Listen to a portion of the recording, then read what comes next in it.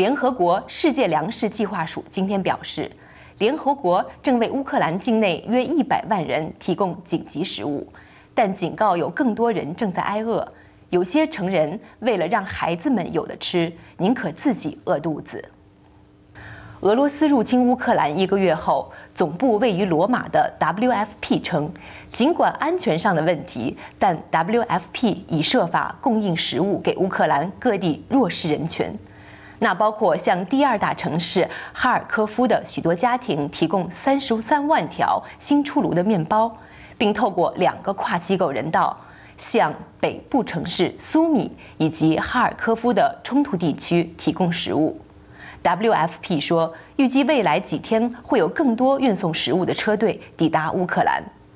WFP 乌克兰紧急协调员在一份声明中表示，从头开始建立行动并取得食物共计一百万人，堪称是一场巨大的挑战。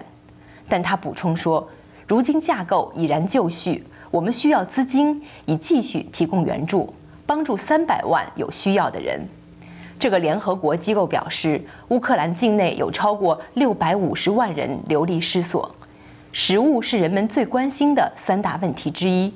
估计有百分之四十五的人担心找不到足够的食物。WFP 说，据报现在有五分之一的人不得不减少用餐的分量和次数，还有些成人不吃饭。好让他们的孩子有饭吃。该机构表示，需要五亿九千万美元来帮助乌克兰三百一十万人有需要的这些人。